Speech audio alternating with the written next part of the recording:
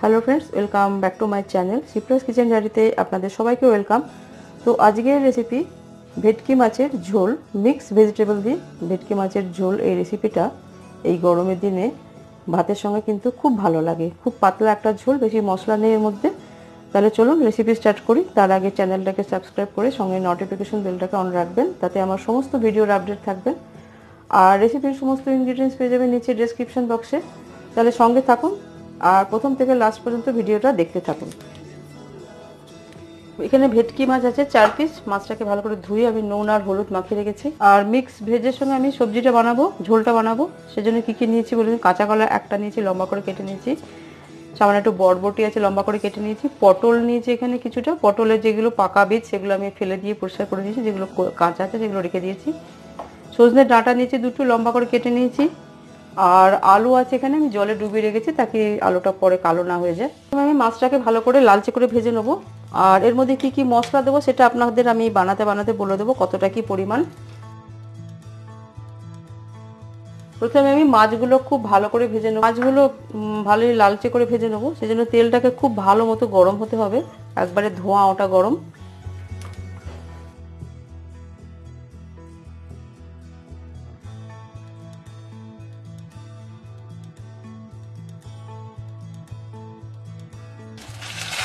তো ফ্রেন্ডস আমার সমস্ত মাছগুলো ফ্রাই করা হয়ে গেছে। আমি এবার একটা প্লেটে তুলে রাখলাম। এই এতটাই লালচে করে ভেজে নিতে হবে মাছগুলো। তো এর মধ্যে তেল আছে, আমি আরেকটার মধ্যে তেল দিয়ে প্রথমে সমস্ত সবজিগুলো একটু ভেজে নেব ভালো করে। আমি পটলগুলো ভেজে নেব, পটলগুলো দিয়ে দেবো একসঙ্গেই ভাজবো, তো প্রথমে পটলগুলো দিয়ে একটু ভেজে নেব। তারপর বাকি সবজিগুলো দিয়ে একসঙ্গে সব ভেজে তুলে নেব। লবণ দিয়ে দিলাম, হলুদ দিয়ে দিলাম।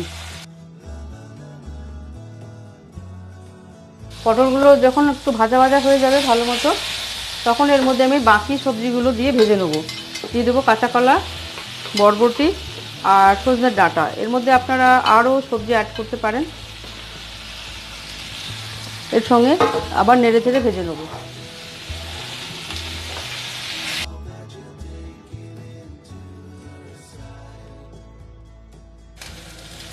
সবজিগুলো আমার ভাজা হয়ে গেছে। এবার সবজিগুলো আমি একটা প্লেটে তুলে নেব।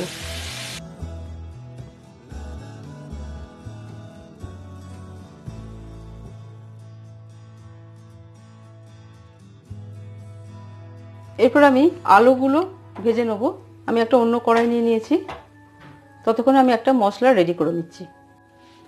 এখানে তিনটে কাঁচা লঙ্কা আছে, কিছুটা আদার কিউ আছে, গোলমরিচ আছে, জিরে আছে। এগুলো আমি সব পেস্ট করে নেব। কড়াই দিয়ে দেবো তেল, দিয়ে দেবো পাঁচ ফোড়ন, হাফ চামচ। সামান্য একটু হিং দিয়ে দিলাম। এবার আলুগুলো দিয়ে দেবো।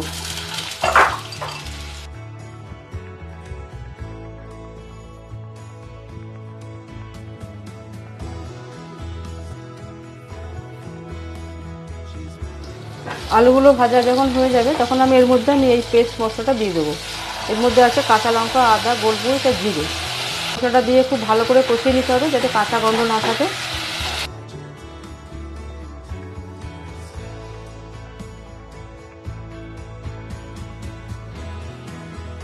মশলাটা আলুর সঙ্গে যখন খুব ভালো করে কষা হয়ে যাবে, তখন আমি এই ভেজে রাখা সবজিগুলো এর মধ্যে দিয়ে দেবো। মধ্যে দিয়ে দেবো আমি মশলা ধোয়ার জল। আর একটু জল দিয়ে দিলাম। যাতে সবজিগুলো ভালো মতো সেদ্ধ হয়ে যায় আর একটু ঝোলঝোলও থাকে। ভালো করে নেড়ে চেড়ে নিয়ে নেব। এর মধ্যে আমার একটু লবণ লাগবে। একটু ভালো করে নেড়ে চেড়ে ঢেকে দেবো। তিন থেকে চার মিনিটের মধ্যে মতো ঢেকে দেবো। আর সবজিগুলো যখন সেদ্ধ হয়ে আসবে, তখন আমি ভেজে রাখা মাছগুলো দেবো। এটা ফুটছে, আমি ঢেকে দিলাম। আর গ্যাসের ফ্লেমটাকে মিডিয়াম রেখে আমি ঢেকে দিলাম চার মিনিটের জন্য। সবজিগুলো যখন সেদ্ধ হয়ে যাবে, তখন আমি ভেজে রাখা মাছগুলো দেবো। চার মিনিট হয়ে গেছে, আমি দেখব। সবজিটা আমার অর্ধেক সেদ্ধ হয়ে গেছে, আলুটাও সেদ্ধ হয়ে গেছে, দেখুন। ডাটাগুলো সেদ্ধ হয়ে গেছে, আমি এবারে ভাজা, ভেজে রাখা মাছগুলো এর মধ্যে দিয়ে দেবো।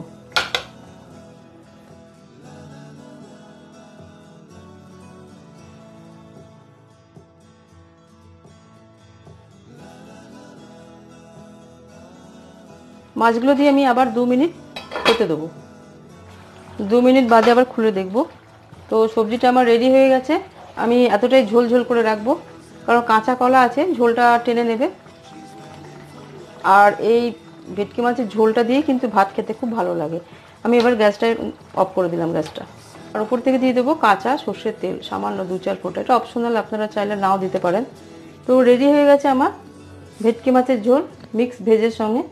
এটা একবার বাড়িতে অবশ্যই ট্রাই করবেন। এই গরমের দিনে কিন্তু এই ভেটকি মাছের ঝোলের, ঝোলটাতে কিন্তু ভাত খেতে কিন্তু দারুণ লাগে। আর আমার রেসিপিটা ভালো লেগে থাকলে ভিডিওটা ভালো লেগে থাকলে চ্যানেলটাকে সাবস্ক্রাইব করে নোটিফিকেশান বেলটাকে অন রাখবেন। আজ এই পর্যন্ত আবার আসব নেক্সট ভিডিওতে নতুন একটা রেসিপি নিয়ে।